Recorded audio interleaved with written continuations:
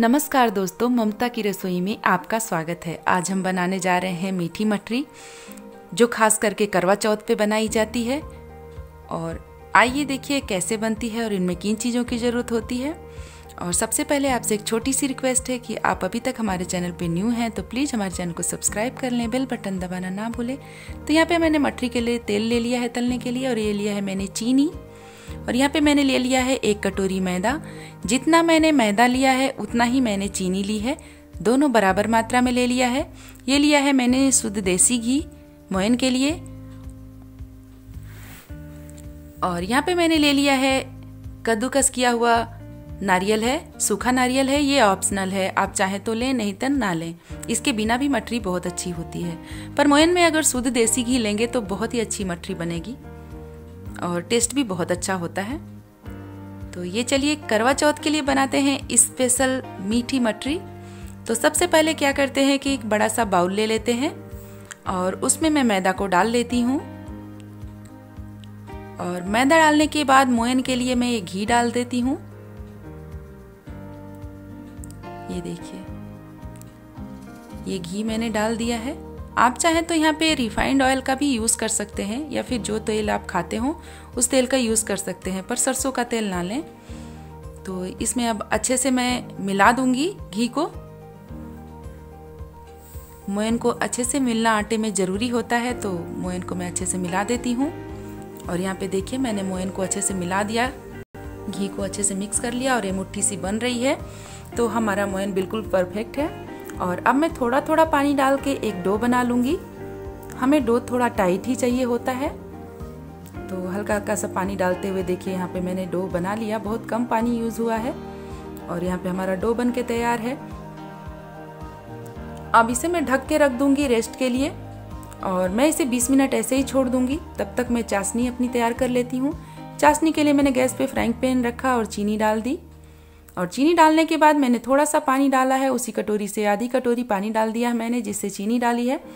और गैस की फ्लेम को कम कर लेंगे और इसे चलाते रहेंगे। और चाशनी हमें दो से दो तार या एक तार की चाशनी बनानी है। और ये देखिए, इसमें टाइम लगता है थोड़ा तो इसको चलाते हुए बनाएँगे। ये देखिए।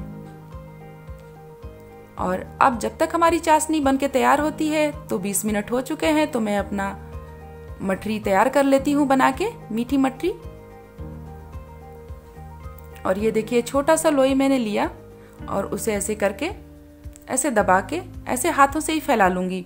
अगर आप चाहें तो इसे चकले पे भी बेल सकते हैं, पर मैं यहाँ पे हाथों से ही बना रही हूँ। ये देखिए, थोड़ा सा दबा दबा के ऐसे मठरी तैयार कर लेंगे।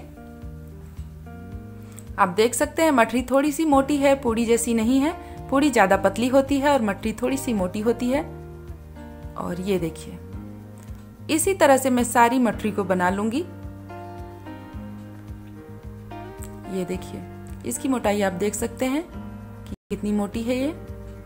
और यहाँ पे मेरी आठ मटरी बनके तैयार हो गई हैं उतने आटे में। और अब हम देख लेते हैं अपनी चाशनी को कि इसमें तार बन रहा है कि नहीं तो आप देख सकते हैं इसमें तार बनने लगा है। तो अब हम गैस को बंद कर लेंगे और चाशनी को एक साइड में रख लेंगे ताकि चाशनी थोड़ी सी ठंडी हो जाए। हम बिल्कुल गर्म चाशनी में अपनी मछली नहीं डालेंगे। थोड़ी सी चाशनी ठंडी होनी चाहिए। और ये देखिए, अभी मैं मटरी को तल ले रही हूँ और मटरी को मैं बिल्कुल मीडियम टू लो गैस पे तलूँगी।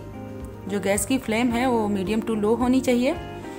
और मटरी को जितना ही मीडियम गैस पे तलेंगे, उतनी ही मटरी खस्ता बनेगी। और यहाँ पे गैस को मैंने मीडियम कर रखा है। बहुत ज़्यादा गर्म में मटरी को तलेंगे तो ऊपर से जल जाएगी, अंदर से होगी नहीं और क्रिस्पी भी नहीं बनेगी। ये देखिए। और एक बार की मटरी तलने में हमें आठ से नौ मिनट लगे हैं। और अलट पलट के अच्छे से मैंने तल लिया है। देखिए कितना अच्छा गोल्डन कलर आ गया है और अब मैं मटरी को निकाल दे रही हूँ। बाहर। ये देखिए। और इसी प्रोसेस से मैं बाकी की भी मटरी को तल लूँगी। आप इस मटरी को बहुत ही आसानी से बना सकते हैं। ये देखिए, यहाँ पे मैंने सारी मछली को तल लिया है और बहुत ही क्रिस्पी बनी हुई है। बहुत ही अच्छी। ये देखिए। अब हम गैस को बंद कर लेते हैं और यहाँ पे हमारी चाशनी भी ठंडी हो चुकी है। हल्की सी गुनगुनी है। तो अब हम इसमें एक एक मठरी डालेंगे और इसको अच्छे से डिप करेंगे। ये देखिए, इसको अच्छे से डिप करते जाएँगे।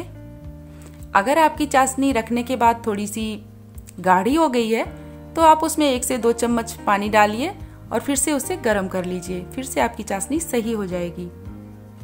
ये देखिए अब हम मटरी को बाहर निकाल लेंगे। अभी चाशनी थोड़ी सी पतली लग रही है, पर बाद में बिल्कुल सूख जाएगी और मठरी पे चपक जाएगी, इकसार बोलेगी इसमें पूरी तरह से। ये देखिए, बाकी की मठरी भी मैं डाल दे रही हूँ। ये देखिए, और इसके ऊपर से मैं ये नारियल थोड़ा सा डाल देती हूँ। ये नारियल इसमें चपक जाता है और बहुत ही टेस्टी लगता है खाने में। और अगर आपको नारियल पसंद है तो आप डाल दें। नहीं तो नहीं भी डालेंगे, तभी मठरी बहुत टेस्टी बनती है। ये देखिए। और यहाँ पे ये बाकी की मटरी को भी मैंने अलट पलट के चाशनी में डुबा लिया है और इसे भी मैं निकाल देती हूँ। ये हमारी मटरी कैसी लगी आपको? आप इसे करवा चौथ पे ज़रूर बनाइए, बहुत ही डिलीशियस बनती है। और हमें कमेंट करके बताइए कि आपने कैसी बनाई, आपकी कैसी बनी और आपको कैसी लगी। हमें आपके कमेंट का इंतज़ार रहता है। और यहाँ पे देख सकते हैं आप, मैंने सारी मटरी तैयार कर ली है। ये देखिए, इसके ऊपर से भी मैं थोड़ा सा नारियल डाल देती हूँ। आप इसे स्टोर करके भी रख सकते हैं। किसी भी, जब ये पूरी तरह से सूख जाए तो किसी भी एयर टाइट डब्बे में डाल के आप इसे रख सकते हैं। एक महीने तक खा सकते हैं इसे रख के। और हमारी वीडियो अच्छी लगे तो हमारे चैनल को सब्सक्राइब करें। बेल बटन ना दबाना भूलें। बाय बाय दोस्तों।